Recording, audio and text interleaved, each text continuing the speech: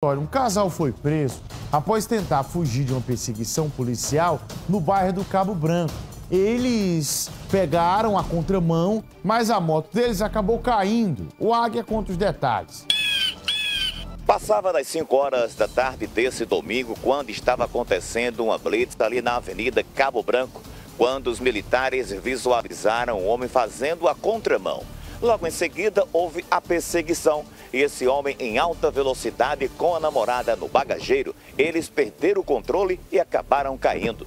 Os militares chamaram a motolância, que foi até o local, fizeram os primeiros socorros às vítimas e, como não teve gravidade, as vítimas foram trazidas aqui para a central de flagrante. Com esse homem, a polícia encontrou alguns pinos de cocaína.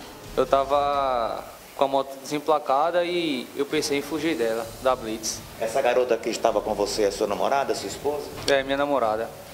Por pouco vocês não perderam a vida, né? Graças a Deus, né?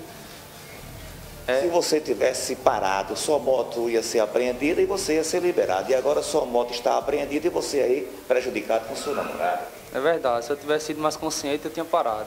Quantos anos você tem? Tenho 20. Agora vai pensar mais, né? Vou sim. O garoto é jovem, não tem passagem pela polícia, mas ele estava com pinos de cocaína na bolsa e acabou fugando, fazendo zigue-zague da polícia, fugindo, mas acabou caindo. Por pouco, não perder as vidas, nem ele, nem a namorada.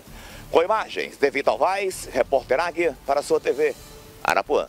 Obrigado, Águia, pela tua participação com a gente agora, 6 e 4, 6 e